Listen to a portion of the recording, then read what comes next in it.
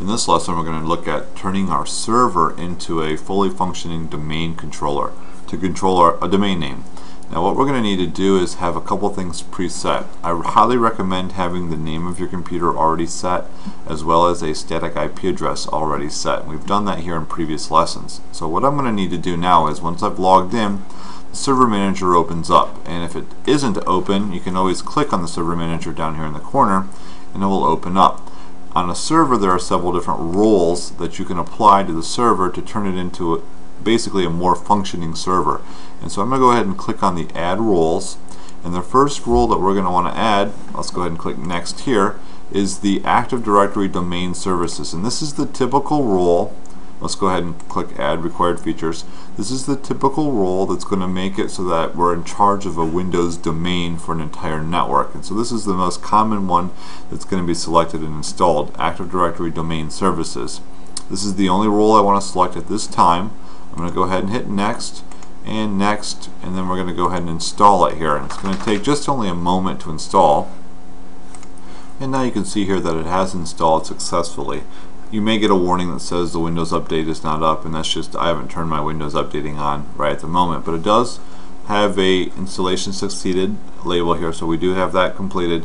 What I need to do now is now that I have the actual tools here I'm going to need to promote my computer to a fully functioning domain controller and we're going to have to run what's called the DC promo and you can see you can click on this link right here and it will actually launch it or I'm going to go ahead and hit close on both of these you can type it into the start menu and type in DC promo here and that'll go ahead and allow you to click it from here as well. Either way is going to take us to this exact same location. So here's my wizard to run the actual promotion of a domain controller. We're going to go ahead and hit next and I'm going to go ahead and hit next again. This is the first domain controller in my entire domain and so what we're going to need to do is create a new domain in a new forest. And so I'm going to go ahead and select this option and we're going to go ahead and hit next.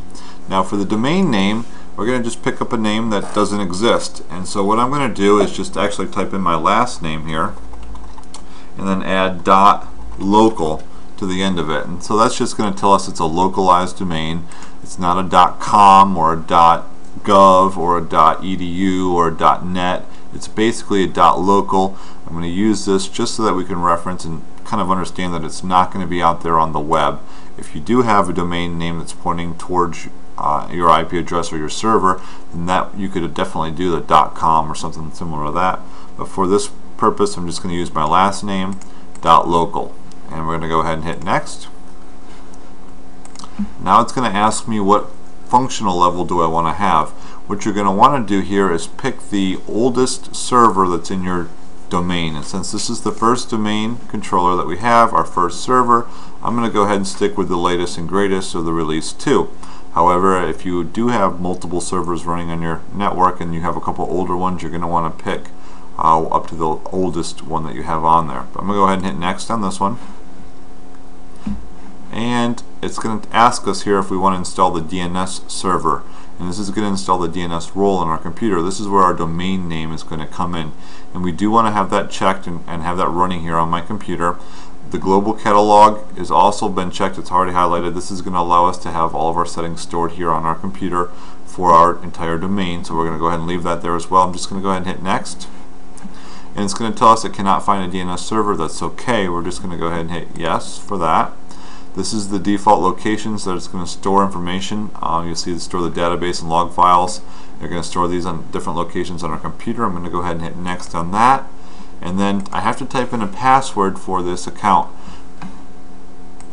And this is going to be a password to be able to access some of this information. And one of the things to notice is that it's different than from the administrator account that's on your computer. So you're going to want to put a password in here. That's a password you won't forget.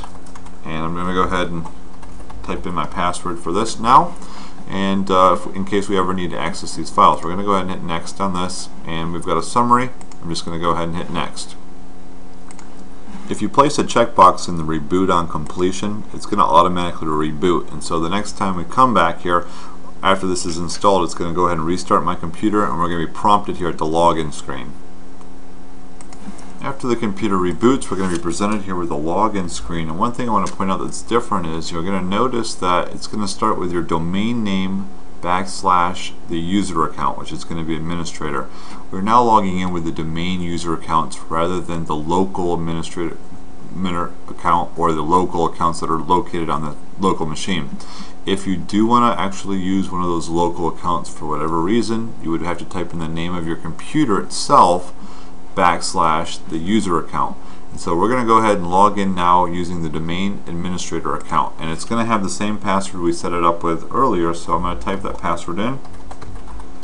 And we're going to go ahead and hit the go button there.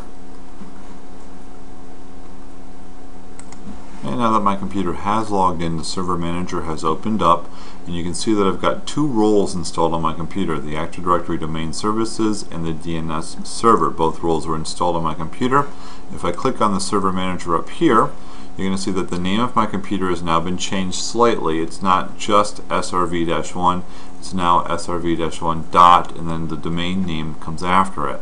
You can see that I'm a member of a domain now, and as well as the fact that we have Active Directory on our computer now. So if I close this, go to Start, Administrative Tools, come up here you can see that I have Active Directory Tools. I also have DNS tools as well, but I'm going to click on the Active Directory Users and Computers and you're going to see that we are now members of or part of the Active Directory or our domain. And so if I expand this, you can see that my computer actually is a domain controller. SRV-1 is now the domain controller in our domain as well as our user, there is the administrative user. And this in the next video we're going to actually add create users to this Active Directory domain.